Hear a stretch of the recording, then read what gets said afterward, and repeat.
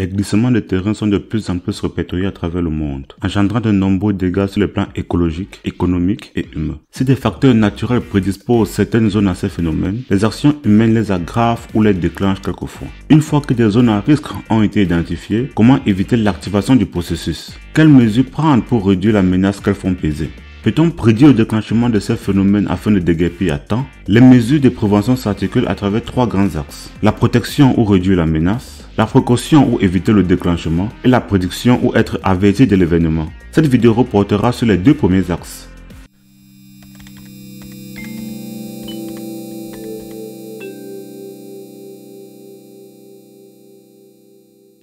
Les mesures de protection visent à réduire la menace de glissement de terrain. Elles consistent à baisser le potentiel d'un site à subir cette instabilité en minimisant l'effet des facteurs aggravants. Elles sont calquées sur ces derniers et se structurent en quatre catégories. L'eau est l'un des facteurs relatifs au glissement de terrain les plus courants. Elle agit à la fois comme facteur aggravant dans le cas de la présence de nappes souterraines par exemple, ou comme facteur déclenchant dans le cas de grandes pluies. Pour limiter l'effet de l'eau dans le processus de glissement de terrain, les eaux de ruissellement peuvent être collectées en surface avant leur infiltration par des caniveaux ou des fossés. Pour les eaux souterraines provenant de l'infiltration ou des nappes d'eau, on peut implanter des drains au pied des versants afin de ponçonner les couches de sol. Les tranchées de drainage sont aussi efficaces à cet égard. Les sols peuvent aussi être asséchés par la méthode électro-osmotique. Cette méthode consiste à planter dans le sol des électrodes électriques, les unes positives appelées anodes et les autres négatives appelées cathodes. Des engins capables de grimper des pentes sont utilisés à cet effet. Sous l'action d'un champ électrique continu, les ions migrent dans le sol et l'eau s'accumule autour de la cathode. L'eau est alors pompée du sol et reversée dans un exutoire adéquat. Voici par exemple le résultat de la transformation d'un sol grâce à la technique d'électro-osmose. Si l'anode est bien choisie, une transformation structurelle s'opérera dans les sols via une série de réactions physico-chimiques et contribuera à l'amélioration des caractéristiques mécaniques des sols. Cependant, cette méthode n'est très efficace que pour des sols argileux et nécessite des équipements peu courants. A l'inverse, la végétation est plus accessible et s'accommode à une plus grande variété de sols. En choisissant des espèces consommatrices en eau, le boisement des flancs contribuera à la fois à contrôler les eaux et les racines stabiliseront les terrains. Par exemple, l'eucalyptus consomme 100 à 1000 litres d'eau par jour. Les sapins sont aussi très consommateurs en eau, en moyenne 300 litres par jour, et disposent d'une architecture racinaire favorable.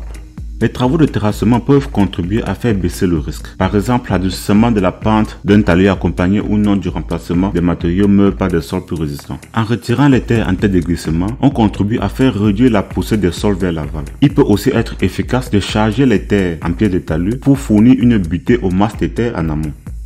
Parfois, les butées de pieds de talus sont faites de pierres qui combinent un effet de blocage de terre et les sorties de l'eau, sans l'enrochement, surmonté ou non des perrons. Les pierres peuvent être organisées en murs de gambions d'allure plus ou moins verticales. Ces structures de pierres peuvent être remplacées par des rondins de bois entrecroisés. Sur cette image, le corps de talus est recouvert de nappes géotextiles biodégradables qui permet la végétalisation. Il est quelquefois nécessaire de construire un mur de soutènement en butée de talus. Ce dernier génère une force de butée plus grande avec un volume de matière plus réduit. De tels murs rigides peuvent être renforcés par la technique de clouage. Lorsque les équipements et le contexte le permettent, le flanc peut être revêtu de béton projeté. Plusieurs autres techniques sont également possibles. Je cite pêle-mêle les réseaux de pieux, les injections de béton et les solutions thermiques.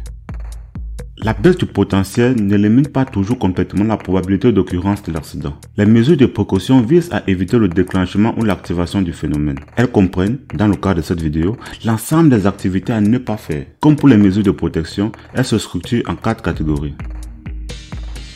Je le rappelle, l'accumulation des eaux dans les couches de sol peut déclencher un glissement de terrain. Cette accumulation peut être aggravée par les activités qui favorisent l'engorgement de terrain. Ainsi, il faudra éviter d'obstruer les exutoires des eaux, qu'ils soient naturels ou artificiels, et aussi éviter de diriger les cours d'eau vers les talus instables ou d'y vider les étangs.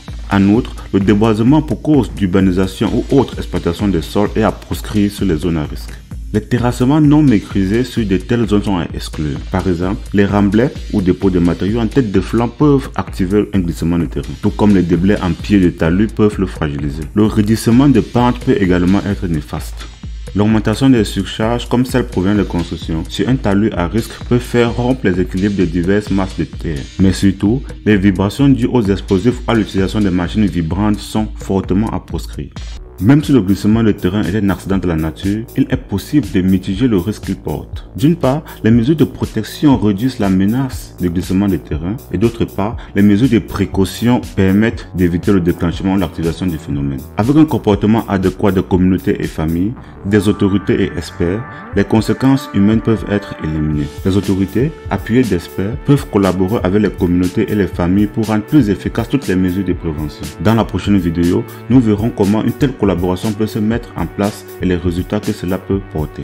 Merci d'avoir regardé cette vidéo jusqu'au bout. J'espère qu'elle t'a plu. Clique sur j'aime et dis-le moi dans les commentaires. Une fois de plus, je t'invite à t'abonner sur cette chaîne Sigma.io et activer la notification pour ne rien rater les futures publications. Partage autour de toi. Rejoins-moi sur les autres pages dont tu vois le lien en zone de description. WhatsApp, Facebook, Twitter et Instagram.